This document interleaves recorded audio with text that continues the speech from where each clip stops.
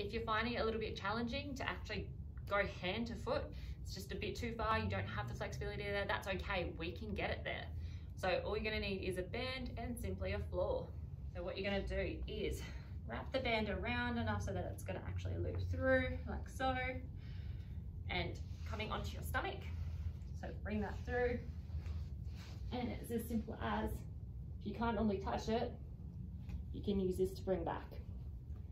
And if you want to bring it back a bit further, we can actually come overhead and like so. It allows you to relax your back a bit more and bring this further in. Continuing on from this position, we can actually do a bit of a PNF stretch to yourself.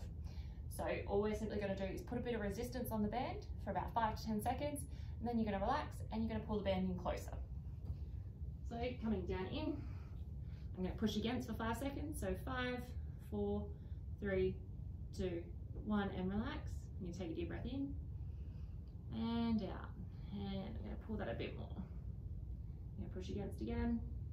Five, four, three, two, one, and relax. And pull again.